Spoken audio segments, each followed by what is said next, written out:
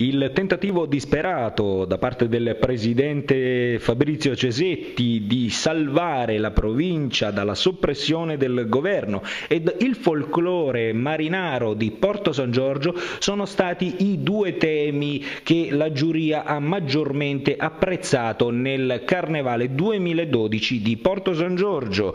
Tra i carri allegorici, infatti, a spuntarla è stato quello della Contrada Capodarco e Centro Sociale San Marco con proprio mo che me l'ha data.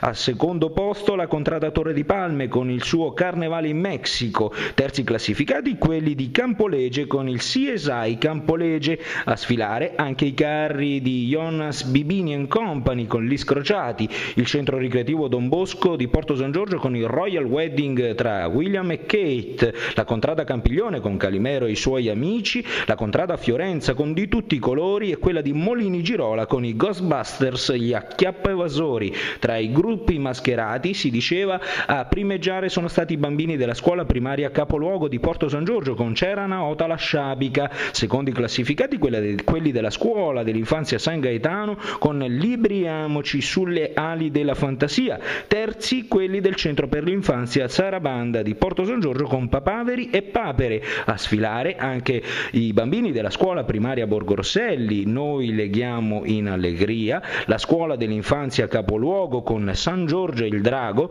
e la scuola dell'infanzia Maddalena di Canossa con Alice nel Paese delle Meraviglie, con loro anche i bambini del centro per l'infanzia Mickey Mouse con i puffi in bicicletta. Il Carnevale 2012 dunque si chiude con un buon successo di pubblico nonostante le temperature molto basse che si sono registrate nel pomeriggio del Carnevale di Porto San Giorgio nel centro della città.